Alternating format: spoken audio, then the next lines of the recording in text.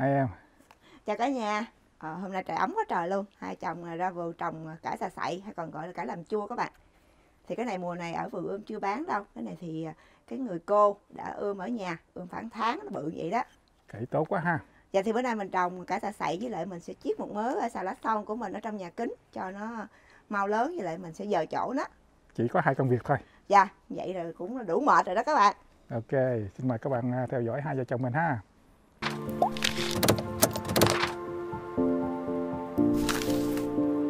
Ờ, đây là cái đám xà lách son mình trồng trong nhà kính chắc cũng được 5-6 năm rồi.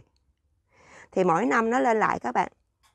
Mà năm nay đặc biệt là nó không có chết luôn. Là tại vì ờ, trời cũng không có máy lạnh. Nhưng mà bữa hổm ông xã mình làm ờ, nhà kính dở ra đó. Thì nó đang ấm cho nên nó lạnh thì nó bị hư. Bây giờ thì nó mọc trở lại.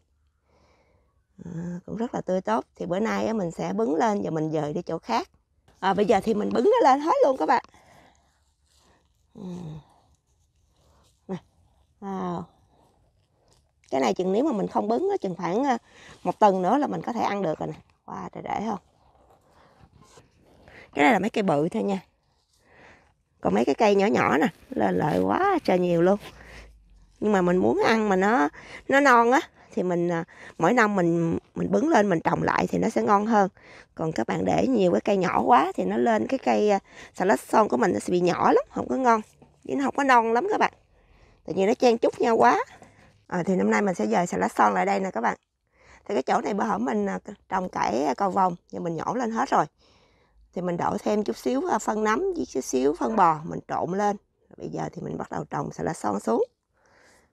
Thì cái chỗ này nó cũng ẩm hơn các bạn nó hơi trụng chút xíu á thành ra nước nó động lại nhiều hơn cái chỗ kia với nó ít nắng hơn. Thì mình trồng nó sẽ tốt hơn ha. Thì xà lách son này nó cũng dễ lên lắm nếu các bạn nào mà ở vùng không có uh, mua hạt được đó thì mình có thể uh, mua cái xà lách son về cái mình ăn mình lấy cái gốc mình ngâm nước các bạn khi nó ra cái mình trồng dễ lắm.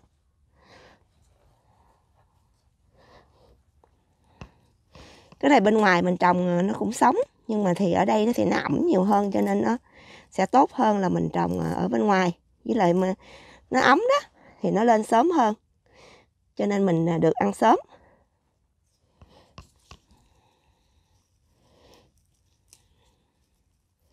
Mình tét ra mình trồng từ cọng nhỏ nhỏ thôi mình mút nó nhảy dữ lắm. Nha, mình đã trồng à, xong cái xà lá son rồi thì bây giờ mình tưới nước nữa các bạn mà tưới nhiều một chút. Tại vì xà lá son nó chịu ẩm lắm.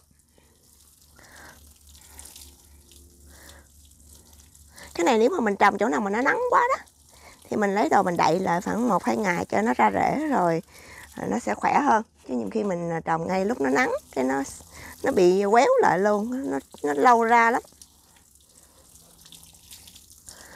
Này mình tưới nhiều nhiều cho nó ngập ngập nước chút xíu cũng được. Mình trồng trong nhà kính thì chắc chừng khoảng tuần, hai tuần nữa là có ăn đó, nhanh lắm.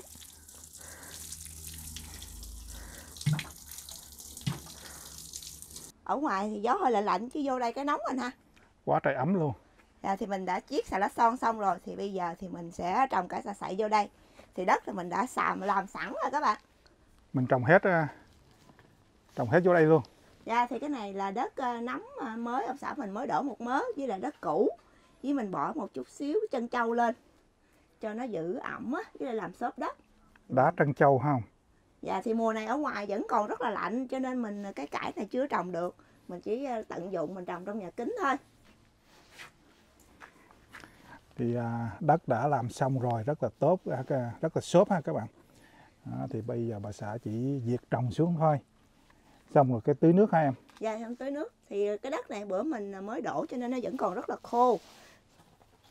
Nhưng mà cái đất này là đất nấm mới cho nên nó tốt lắm mình không bỏ thêm phân gà phân bò gì hết trơn các bạn ừ. mà các bạn đã à, để ý mấy cái à, năm gì trước á mình trồng cái cải tài sậy này mà lúc này á em dạ. nó tốt lắm phải không? Nó tốt mát lắm. nè. Nó mát mát vậy nè tốt dữ lắm. Mình à, tận dụng thì mình trồng sớm sớm một chút. Ừ. Mà các bạn theo dõi thì mình trồng những cái cây cải tài xị hồi đó nó rất là to luôn. Nhưng mà cái loại này á không biết nó đúng không? Thì cái loại này của cái người cô đó là, là trồng cải xà sậy xong rồi à, mình là để giống một cái cây các bạn xong rồi lấy hột rồi tự ươm luôn cho nên là cũng không biết là chắc chắn là cái cải mà mình à, giống như Việt Nam mình không ha ừ. tại vì hồi đó giờ mình trồng cũng nhiều lần bị bị Lộn. bị lộn mặc dù nó nói là cải tài sảy rồi à, trồng lên thì nó thành ra cải cải gì em Cải cải xanh. cải xanh bia xanh ừ. rồi có nhiều người nói không mình có khi mình trồng cái thời tiết hay gì đó bị lai. nó bị lai hay gì nhầm khi nó cũng cải thành cải xanh. Thì cái cải này á nói chung là nói chung ở đây nó cũng khó tìm lắm. Cho nên là nhằm khi mình mua ở trên mạng đó đưa hộp về toàn cải xanh không à.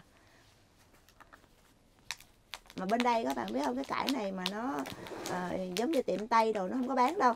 Mà chỉ có tiệm ờ, giống như mấy cái tiệm á đông á, thì mặt mai còn có bán cái loại cải cà sậy này. Ừ. nhưng mà khi à, mình lên à, trên cái tiệm Á Đông đó từ hồi tuần trước gì phải không em? Dạ. Họ chưa thấy nó chưa có bán đâu. Tại vì mấy cái này giờ thì người ta đa số là trồng ngoài chưa được anh cho Ừ. nên ta chưa bán giờ chỉ bán những cái loại mà chịu được cái lạnh thôi. Mà cái này nó bự lắm nó đúng cả ta sậy thì nó rất là bự luôn. Cho nên là mình à, trồng thưa thưa các bạn thì nó mới có chỗ cho nó phát triển và nó xây cái nồi á anh ừ. mà mình à, hôm nay mình đem về cái mình để trong nhà kính đây nó thấy nó cũng lớn ha. Đúng rồi mình đem về mình để hôm nay thấy nó lớn á. Chứ bữa hổm thì cho mình nó nhỏ xíu à. Bỏ trong đây thì nó hơi ấm ấm á thì nó mau rồi. lớn. Mình trồng à, đủ không? Đủ. Em tính rồi. À, mình trồng cái gì à, vô một khung thì vô à, trồng cái khung cái loại đó không? Nhìn nó đẹp mắt một chút nhưng mà tại vì ví dụ như mình ươm thì dễ à, giống như hay là ta bán từ cây dễ các bạn nhầm khi ta bán dĩ á ừ. xong cái mình mua cái nó thiếu cái nó dư vậy đó mất công dữ lắm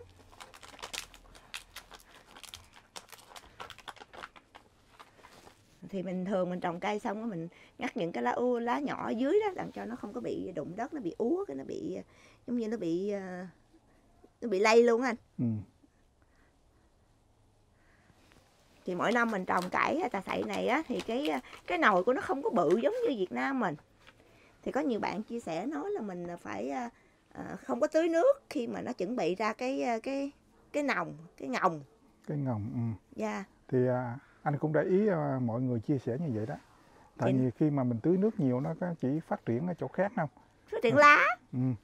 rồi mình à, không có tưới nước nó nó phải à, à, nó kích thích cái nòng hay sao ha và cũng giống như là khi mà cây nó không có trổ qua đó cái mình à, không có tưới nước à, tưới ít lại các bạn trong thời thời gian thì bắt đầu nó mới trổ qua giống như kích thích vậy đó. Ôi, ôi, rồi rồi, rồi, rồi. ý, ý là, là có cái đường đi mà còn té đó. Cái này phải làm cái đường đi nó bự ra quá.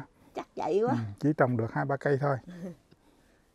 Thì mình nói lắm thì ông xã mình mới làm cho mình cái đường đi mà giống như là cũng gọi là vừa ý đó các bạn mà hồi đó anh thấy để ý không có cái đường đi thì không có té. Còn làm đường đi nhiều thì nó té nhiều. Ừ. biết tại sao không? Tại biết tại làm đường sao đi không? nhiều thì nó phải đi nhiều nó mới té nhiều. Tại vì xưa làm không có đường đi thì đa số không có quay phim gì hết trơn á cứ trồng đại vậy đó hồi ra không có té.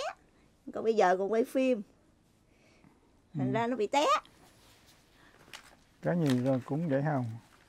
Có mà nó mới à, mình mới à, trải nghiệm rồi mới mới à, mới có cái cái này cái kia.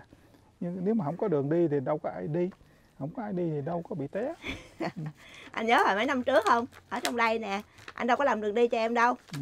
trồng mỗi lần trồng đã đời luôn á. Hồi đó là cái lúc à, ban đầu á các bạn thì cái vườn đây là à, mình tận dụng đất á không có đường đi luôn. Mỗi lần trồng là phải phải Phải treo bắt, vô. bắt bắt bắt, bắt cầu. Đất cầu trèo vô hay là hay là đi xong rồi cái nó vẽ đất á là cái đi ra là phải xới đất lại. Dạ. Thì hồi xưa thì đa số là mình cũng ít có trồng lắm tại mình cũng ờ, nói chung mình chỉ thích trồng bông hơn. Ông xã mình thì thích trồng rau cho nên thường á là cái này ảnh làm không à. Ừ. mình chỉ cần gì ra hái ăn thôi. Nhưng mà xưa trồng cũng ít hả rau thơm là chính. Có có một à, vài bạn nó hỏi ô làm youtube có tiền à, đâu có tiền nhiều đâu mà sao đầu tư dữ vậy? Thì à, thì à, đúng là các bạn thì làm một à, cái là cũng như là sở thích đó các bạn. À, nếu mà không có làm youtube thì à, à, mình vẫn đầu tư trồng rau ha tại vì thích. Tại vì hồi xưa là lúc mà mình à, à, còn nhỏ ừ. thì nó không có nhiều thời gian để mà à, lo cho vườn tược lo kiếm tiền các bạn. Thì bây giờ con nó cũng lớn à, giống như làm nhiều thì nó cũng cuộc sống nó cũng giống như là ổn định rồi thì bây giờ bắt đầu chuẩn bị ờ, dưỡng già nè Ừ.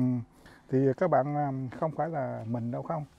À, có rất là nhiều các bạn thì à, đi làm bề bộn hay là người ta về hưu rồi đó thì người ta trở lại cái cũng như là À. sở thích sở thích của mình có thời nhiều thời gian đó, thì cái gì mà mình thích á, mình làm rất là vui nhưng mà cái ờ, gia đình của ờ, ông xã mình thì ờ, rất là thích làm vườn. Hồi xưa lúc mà mình mới qua đó lúc đó còn rất là trẻ còn nhỏ xíu à. Thì mà cái thằng em mà em thứ ba của ảnh á thì cũng đã làm cái nhà kính rồi. Rồi nó rất là rất là thích trồng anh hả? Lúc đó cũng trồng tùm lum tùm la rồi đấy chứ Ừ. hả? Thì hồi đó giờ à, cũng rất là nhiều cái nhà kính rồi đó chứ không phải là nó hư là cái đóng cái khác. Mỗi lần đóng cái khác thì nó bự hơn cái đầu tiên hồi xưa mới đầu ờ, lúc mà mình dọn tới cái nhà này thì cái nhà kính của ông xã mình làm thì ờ, nó nhỏ xíu à. Nhỏ xíu à. Để trồng rau thơm. Từ từ thì ảnh ờ, ảnh ảnh làm bự bự ra riết bự quá trời bự luôn riết hết đất luôn. Ừ. mà là giờ bây giờ còn treo nữa. Treo nữa rồi chậu nữa. Kêu bằng là tận dụng tối đa. Nhưng mà phải phải xem các bạn. Mình treo mình treo chứ đừng có à, làm mất ánh, ánh nắng của những cái cây chỗ khác không? Dạ thì xong rồi các bạn. Thì bây giờ mình kéo cái nước vô cái mình à, tưới nó. Thì bây giờ ông xã mình làm cái nhà kính cái cửa ở đây thì tưới nó cũng hơi bị bất tiện anh nè. À, nhưng mà ráng à, một tầng hai tầng nữa đi thì anh sẽ làm cái dòi ở trong đây. Rồi sau đó là sẽ cái có nhiều ống nước tưới tự động. Ừ. nhưng mà đầu tiên thì kéo cái dòi vô đây cái mình à, gắn cái ống nước ở trong đây cái mình tưới. Cho nó nó dễ các bạn. Chứ kéo từ ống từ ngoài kia là đi tưới đầu này à, lại đầu kia nó nó làm à, dài ống dài quá. Nó nó kéo khi nó hư mấy cái rau cải của mình hết. À, đúng rồi tại vì rau mai mốt là nó đặc chứ nó lớn á. Mình Ừ. à, kéo rồi cái nó bị hư. Cái này đất còn hơi khô cho nên mình tưới cho nó nhiều một chút cho nó Ừ. ướt luôn. Tưới cho nó ướt luôn các bạn. Thì tưới như vậy chắc cũng hai ba ngày thì mình mới tưới nữa thì ở trong nhà kính á mình tưới một lần vậy à, nó giữ nước rất là lâu. Ừ.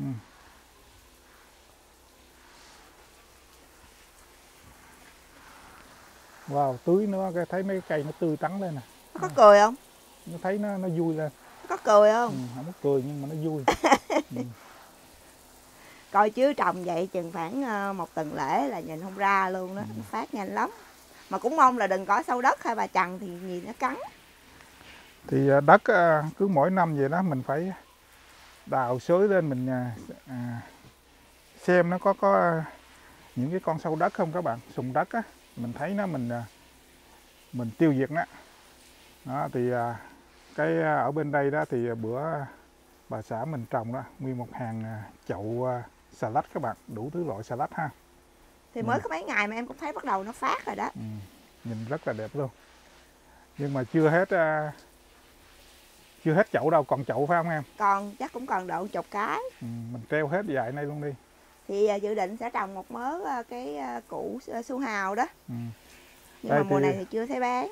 ở bên đây thì mấy cái này hồi mấy một tuần trước phải không? Tuần mấy trước nha. Bà xã mình rải hộp. Nó Dạ. lên rồi các bạn. Ừ.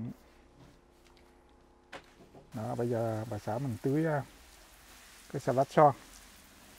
Thì bà sẽ chiết cái salad son lại cái đầu đằng đây. Và tại đầu đây thì nó ít nắng hơn một chút với lại nó hơi ẩm hơn. Thợ lá Ừ. son thì nó chịu quá cho nên mình chiết lại đây. Tưới cần nước luôn em ơi cho nó ngập lên luôn. Còn nước thì mình đã trồng được à, chắc cũng khoảng 4 tuần rồi nhưng mà hôm nay lạnh nó không phát triển. Bây Ừ. giờ bắt đầu ấm thấy các bạn thấy bắt đầu nó lớn rồi nè để cần nước á, bắt đầu nó ấm à, đúng cái độ của nó lên rất là mau thì à, bây giờ thì à, ấm cho nên mình cho nước nhiều một chút cho nó hơi ngập ngập Ừ. Bữa nay trời ờ, rất là ấm, à, cà vời để, để làm trồng, trồng rau. Ừ. nhưng mà buổi tối lại à, lạnh các bạn hồi hôm này là nó là trừ một độ đó Ừ. nhưng mà bây giờ tới à, cuối tuần thì mình thấy ban đêm thì cũng có hai ba độ rồi ban ngày thì nhiều khi lên tới 13 14 độ. Ừ. Tối nay cũng sẽ xuống lạnh nè. dạ. Ừ. dạ thì bữa nay thì à, hai vợ chồng làm được ờ, hai việc. Đó là mình trồng ờ, cái cải xà xậy và mình chiết được cái xà lách son. Xà lách son thì nó rất là dễ trồng. Ờ, mình trồng nhất là cái chỗ nào ẩm ẩm hơi mát mát không cần nắng thì nó lên rất là tốt các bạn. Mà mỗi năm nó lên lại ha. Mà mình trồng ở nhà ăn cũng rất là ngon. Ok, vậy là xong ha các bạn À, xong rồi ít bữa thì trời ấm ấm này phát triển nhanh lắm á. À, thôi xin à, cảm ơn các bạn đã theo dõi video của vợ chồng mình. Nếu các bạn à, thích xin bấm like đăng ký và chia sẻ để xem những video kế tiếp nha. À, xin cảm ơn hẹn gặp lại. Bye bye. Bye bye các bạn. Chừng hai tuần nữa thôi là chừng nghĩ chắc trong nhà kính của mình là xong um. hết á. Xanh lè xanh luôn. um ừ.